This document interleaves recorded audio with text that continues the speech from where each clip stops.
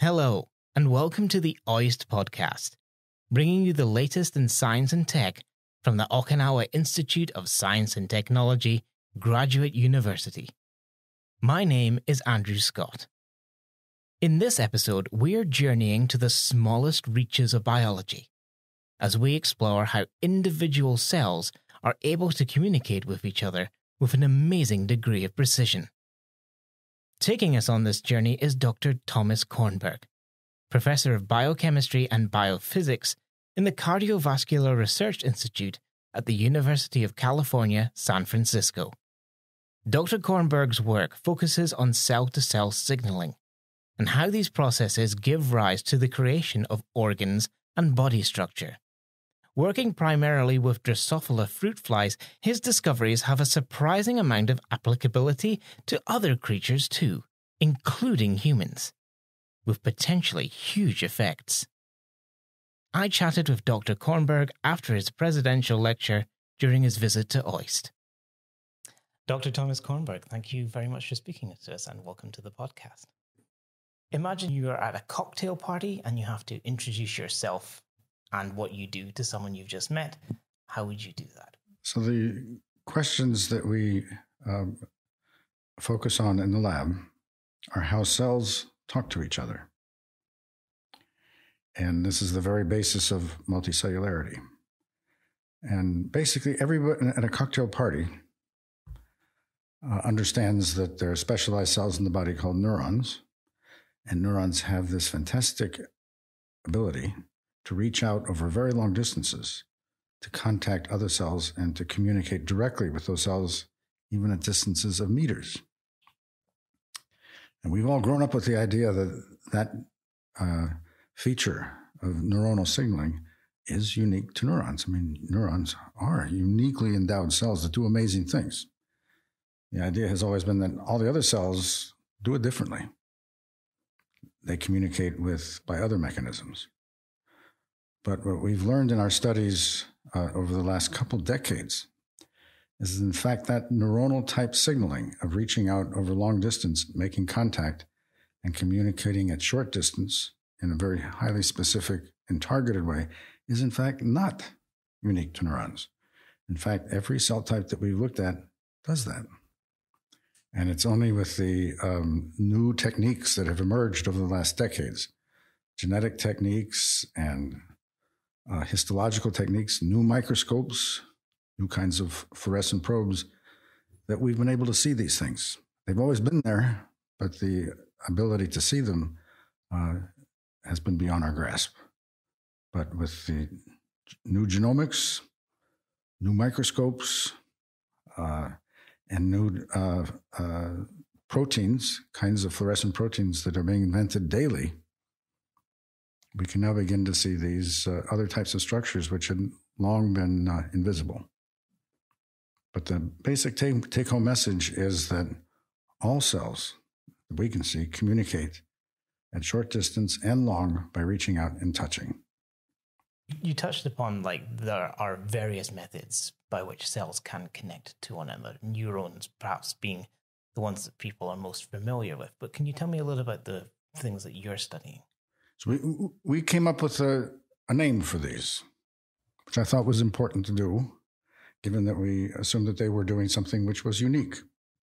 Looking back on it 20 years later, we realize that probably what they're doing is not unique. Um, but these kinds of structures do exist, and there are many cells. So we called them, based upon their appearance when we first saw them, cytonemes, nemes being fingers or thread and cyto being they clearly had cytoplasm in them. What we didn't, and we we knew that they were a, an organelle uh, uh, uh, generally known as Filopodia, which had been observed for many decades, hundred years. Uh, but what we were suggesting, or what our data indicated, was these were Filopodia of a special type that were involved in signaling as opposed to other types of filopodia, which, when we looked in the cell biology textbooks, said what was the role of filopodia? Well, the role of filopodia was to involved in cell movement or, um, uh, and force generation. So we said, okay, so these are Filopodia, which are doing something else. They're involved not in force generation, okay. not in cell movement. So force generation meaning like the mechanisms that allow cells to move around. Correct. They, they, they basically reach out and pull a cell from one place to another, and they do that. Uh, looking back on it now, 20 years later, I have to think, are there Filopodia which are not involved in signaling? And I don't know that there are not. so we call them cytonemes. Uh, they've now been, these kinds of structures have been observed in many other contexts at this point, uh, uh in, in research in other labs over the past 20 years. And people give them various names. Uh, I think they're basically all doing the same thing, which is allowing cells to reach out and uh, scout out, investigate their environment, and when they make appropriate contact, and what we've shown is when they do make appropriate contact, they make chemical synapses, organized structures that allow exchange of information. Uh, and that and that's basically how cells know where they are relative to their far and near neighbors.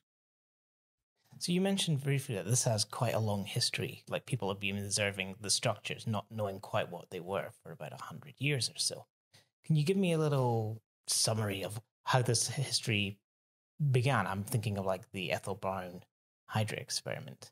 So the the experiment that you're referring to uh, was an experiment done by a graduate student at Columbia University on the first decade of the 20th century, and she was looking at an organism called Hydra, which is uh, still worked on today.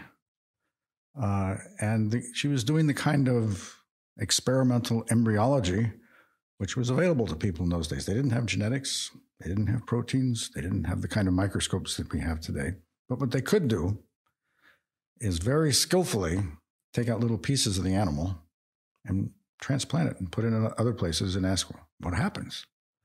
What they observed is that if they transplanted a little piece of hydra um, uh, from one place to another, uh, that occasionally they could see that not only did the uh, expected structure appear, that is, if they took it from a place in the animal that was going to make a tentacle, that when they transplanted it to another animal, they saw a tentacle appear.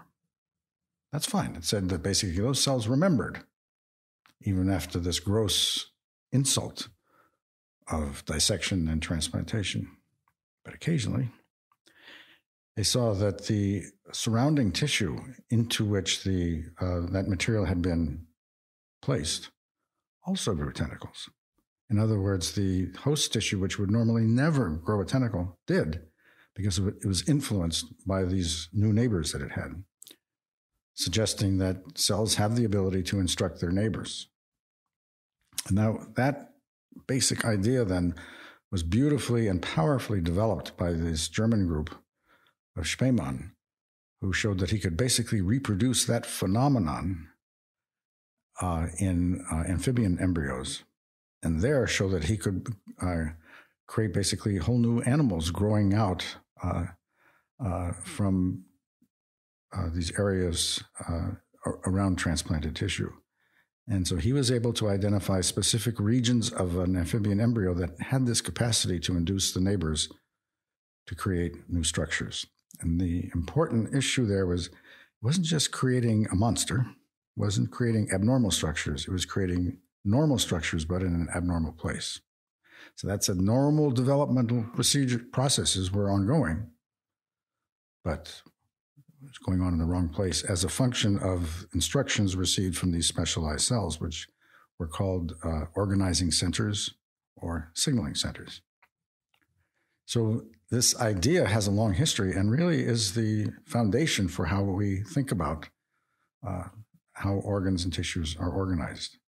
That is, what I like to say is development is not a democracy. All cells are not equal. There are some specialized cells, which we call centers or organizers, which instruct their neighbors in a developmental field what to do.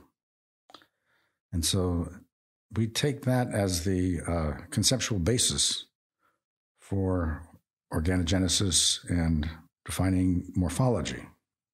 The question that we address is how these substances, which are instructive, how they work and how they distribute over space and time. Thinking about the cytonemes connecting one cell to another, and you mentioned that they're exchanging information. What kind of information have you observed them swapping? And what form do that does that take? So it was assumed back to the days of Spemann, 1920s, that there were substances, chemical substances, which would induce these responses. It was assumed, and that went on for more than 50 years, that these substances would be small molecules, small organic molecules on the order of size of ATP, a couple hundred molecular weight, and they would be free to diffuse in and out of cells. And so they could move across the tissue by just unimpeded by cell membranes. And wonderful theories of how they might work were developed for such small molecule, small diffusible molecules. But then, one of the triumphs of Drosophila developmental genetics was the discovery these inducers are not small molecules, they're actually proteins. And proteins do not easily diffuse in and out of cells. Proteins have to move, have to be exported from cells, they have to be taken up by cells. And so these distributions of this, these informational packets, which are encoded within these signaling proteins, have to be created. And what was is now established is that there are, there are cells, groups of cells that make these signaling proteins. Those are the signaling centers. Those are the signaling centers that were discovered way back in the 1920s. They make these instructional inducers, these proteins. And then what we know is that those proteins can actually move long distances. And so what we've shown is by characterizing these cytonemes, is that these are the structures, the conduits that move these proteins over long distances.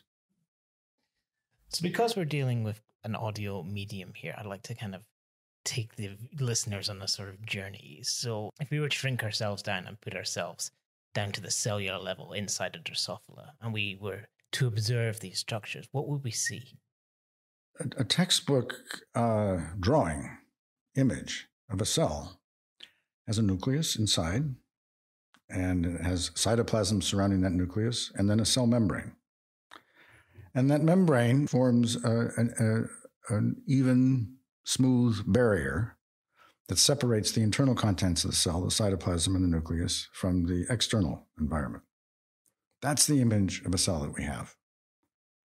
But in fact, cell membranes are, do not have smooth external surfaces.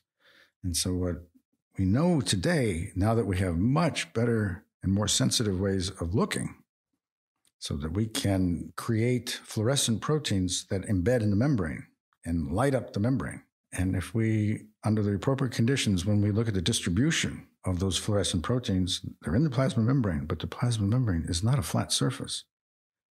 It's populated by many protrusions and extensions. And what we observe is that the, so the cells are actually quite hairy, if you will. But those hairs are not constant. They extend out, they retract. And it's a very, very active process. So the cell seems to be exploring the world around it uh, in a very active way by extending out these little fingers of membrane inside their cytoplasm. And um, they're actively scouting out, we think, what's around the cell. So these fingers themselves are the cytonemes. And some of those are certainly cytonemes. I won't say that all of them are. okay. and one of the, we know so little really about the cell biology or the biology of these structures that the mantra that we have in the lab don't make rules. Don't assume, don't circumscribe what we see. Look at what we see, describe it, and hopefully unencumbered by the prejudice of dogma. So you mentioned earlier when you lectured that these cytonemes, these finger-like projections coming from cells, are not localized. They're not limited to the cells in their immediate vicinity, but they can actually stretch an incredibly long way. How long, relative to maybe cell size, are we talking about? How, how long of a distance can these transfers take place on? Well, again, I'm not going to make a rule. okay. So, uh, one flippant answer to that is that we, we, we, as developmental biologists, can define what we call as a developmental field. By that, what we mean is that we know where these signaling centers are and we know how far their influence extends. That's our field. Okay. Uh, and in different contexts, that field can vary enormously. Uh, in the context that we study, uh, we know that these substances can move and the cytonemes can extend on the distances on the order of 100, 125 microns. So, to put that into context, the diameter of an individual cell in our system is around two to two and a half microns. So, we're talking 40 to 50 cells. In other contexts where they've been observed and characterized, such as the growing limb bud of a mouse in a mouse embryo, they can extend for hundreds of microns. So if we scaled that up to say this, if a cell was the size of a car, we'd be talking like hundreds of cars lengths. So that's quite quite an, an achievement for them to be able to do this. It is, and remember that they are they're, they're extremely active. They extend out and then they retract. That's what we see. So it's a very active, dynamic process. But after all, so is development. Cells are growing, shapes are changing, and if this is the mechanism, is this the means by which cells understand where they are in an organism, in, in, a, in a tissue, in an organ, it's changing shape in real time. That's what you need. That's what you have to have. So you work with fruit flies, exploring this particular phenomena. What does their activity look like for the development of a fruit fly? So, in fairness, we've focused on a particular organ at a particular time in development. We've not characterized all of development. We've not characterized all tissues in the fly. The fly has many. But what I can say is that the uh, processes that we've um, studied and, and, for which we can now make uh, some pretty definitive conclusions about what these structures are doing. That, that is, they are involved in the exchange and the transfer and the transport of the signaling proteins in space and time. That biology is conserved. It's conserved between different times, uh, at, at, different times in Drosophila development. It's conserved between different tissues in Drosophila, and it's conserved across virtually every animal that we know. So many, many years ago, when I was a student, these signaling proteins had not yet been identified we really didn't have a clue what embedded this kind of information. And uh, the one of the, the, founder, one of the, the founder of this institute, Sidney Brenner, who was himself involved in the elucidation of the genetic code and the understanding of how the genetic information in the genetic code was elaborated and used and so was intimately involved in coming to understand that the genetic code is universal in bacteria, in plants, in animals. And it's that universality that's really given birth to the biotechnology revolution because although many people doubted it, in fact, but because of the universality of the genetic code, human proteins can be produced in bacteria, such as insulin and growth hormone. And that protein is the same protein that it would be produced in a human cell because the genetic code and these basic this, the basic biochemistry is universal. But if we go back 40 years, where we, our understanding of how these developmental processes worked, we understood at that point that the genetic code was universal. But we had no idea about how different organs took on different shapes and functions and how different cell types appeared in one place or another. And so Sidney Brenner stated the dilemma, the conundrum, in this way. He says, you know what, I, what really worried him was that the genetic code would be the last elegant solution in nature. That is, every animal, every organ, every tissue at different times would sort of piece together and cobble together different ways of doing something to create something. And now, 40 years later, what we know is that there is a beautiful, elegant solution to this kind of developmental patterning and programming. That is, we now know the vocabulary of pro- signaling proteins that's responsible for regulating growth, patterning, and morphogenesis. And that vocabulary is incredibly small. It consists of proteins which have these wonderful names hedgehog, bone morphogenetic protein, wingless or Wnt, fibroblast growth factor, epidermal growth factor, Notch. These come from phenotypes mostly in flies. But what we know now is that same vocabulary of signaling proteins is used not just in the fly wing or the organs that we study, not just at, in larval development at the stage we study, but it's also that those same proteins are responsible for organizing embryogenesis, tissue types in an embryo, all the way to the adult. And it's not limited just to the fly. Virtually every animal that's been examined, it's that same vocabulary. So now that we know the vocabulary, now we have to understand the grammar and the language and the syntax. And so that's what most of us are doing. What sparked your personal interest to pursue this field? What was there an inciting incident, or was it something that kind of built up over time? It built up over time, and the questions changed. So when I got into developmental biology, I would argue that the developmental biology at that, that time was a matter of semantics. And it consisted basically of observation and descriptions of what was being observed. There's, there's very little functional studies that could be done. And so people who were studying Drosophila or fly development described what they saw, and they created a language to describe that. People studying chick development created their own language. Mouse development created their own language. Every animal had its own language. And at that time, as I said, we didn't know if there was any correlation or any elegance to development. It was appropriate to do that. But now, 40 years later, where we know that the basic processes are all the same, and in fact, there is needs to be a common language to describe these developmental processes and all, and all these different animals. So at the time I got into the field, it was sort of pretty dirty, and there wasn't much that we could extract um, other than describing what was going on. But what attracted me to a particular uh, uh, question in Drosophila was a discovery uh, by um, uh, a couple Spanish developmental geneticists, uh, Antonio Garcia, Garcia Bellido, Ginés Morata, and Pedro Ripoll, and a British developmental biologist, Peter Lawrence. And what they showed was that the fly wing was basically subdivided into two parts. It was a binary decision, and there was a gene called engrailed that was needed in one part and not the other. And if you lacked engrailed function, those two parts didn't remain separate, but they got intermingled and the cells sort of overgrew.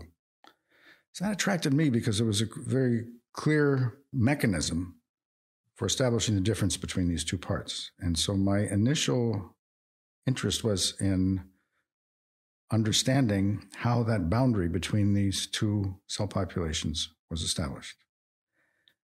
So, for many years, we studied the uh, genetics uh, to, to, understand how that gene worked. And so, the, the, the juxtaposition of these two parts of the wing is called a border, a compartment border, and these two parts were called compartments. And the phenotype, what happened if that border was abnormal, is that the cells no longer respected that border and overgrew. So, in a sense, it was a model for cancer. Did I think that that would any have any relevance whatsoever to human cancer? No. Okay, so so these genetic studies allowed us to definitively show the requirement for this gene in only one compartment of the wing. The question arose as we then determined that this gene encoded a protein, which is a transcription factor, which regulates the expression of other genes. Then we wanted to know, okay, what is it regulating to carry out this role? So, among the genes that we identified that it regulates was a gene which we cloned and characterized called hedgehog. And we showed that hedgehog expression is regulated by engrailed, and hedgehog carries out this amazing role of moving from the cells where it's made to regulate the cells across the compartment border. And in the absence of, or with abnormal hedgehog function, cells didn't know what to do and they overgrow. It's consistent with this tumor model, cancer model. Again, did I think that would have any relevance to human tumors? I didn't think so. But Others have subsequently shown that hedgehog is not simply a Drosophila protein, but there are vertebrate homologs of hedgehog, which are called sonic hedgehog and Indian hedgehog, and that that pathway that we and others helped um, delineate of how hedgehog works is functioning not only in Drosophila but in most human cells. And aberrant hedgehog signaling is responsible for the most common form of human cancer. There are drugs now in the clinic directed against the hedgehog pathway to treat patients that have defects in hedgehog signaling. So there's a direct parallel from very basic studies of fly wing development all the way to human disease. It's really quite amazing that that genetic structure has been preserved through such a massive biological jump. Exactly. And but it's not true just of hedgehog. It's true of BMP, it's true of wingless, Wnt, it's true of FGF, it's EGF. So these are the fundamental systems which are responsible for defining space and pattern in animals. So then having established that, the, the important function of these signaling proteins is to move in space, to move from one cell to another. Then the next question became okay, how do they do it? And that's where, informed by the biology that we and others had established, we were prepared to uh, interpret or to take seriously a chance observation when we saw these structures, which we now call cytonemes, that are, were present in an oriented uh, distribution in, in these tissues. And that's what then what we've been studying for the past 20 years. So, from the point that you are now, and if you'll indulge a little bit of speculation, is there a pathway that we can follow from your observations to a presumed treatment for tumors in the future? Absolutely uh, work that I described in the seminar, we've shown that the, the tumor types that require interaction with stromal cells, and there are many such types of tumors. That is, tumors are composed not just of the tumor cells, but also the normal cells around them, and they talk to each other and cooperate with each other. Uh, and, and that cooperation is responsible for uh, neoplasia, the overgrowth of tumors, as well probably as uh, leading to metastasis. So it's very important that communication, cell cell communication between tumor cells and stromal cells. So our work in the fly on model systems of human tumors has shown us, has taught us that these tumor stromal cell communication is cytoneme mediated. And if we block cytoneme mediated communication between tumor and stromal cells, tumors don't grow. So we literally can cure lethal flies of lethal tumors by inhibiting the ability of the tumors to communicate with by cytonemes with these stromal cells. So do I think in my wildest imagination that this this then could have identify for us important new targets for cancer therapy in humans? Absolutely. It's a wonderful opportunity. This could be very big indeed outside of your scientific work, you're also quite noted as a very capable cellist. And I just wanted to ask if there's any kind of overlap, perhaps, in the way you approach science to the way you play music, or when you're conducting research, is there any particular kind of music that plays in your head? All those are interesting questions. I'm afraid I don't have a good answer for you. Um, uh, if I rephrase the question a bit differently to say, is there any value to musical training for a scientist? I would say absolutely. I think there's a, there's tremendous value for musical training, actually for any vocation. And I'll illustrate that in the following way. So when I graduated from undergraduate school, I had not done the t- typical course. That is, I did take a course in chemistry. I did take a course in physics and biology, but I opted out of every laboratory course. So I had never set foot in a laboratory. And I did that because I was, at the same time I was an undergraduate, I was also a student in the Juilliard Music Conservatory. And I explained to my professors, I didn't have time to spend hours and hours every afternoon in the lab, and they were all very um, accommodating.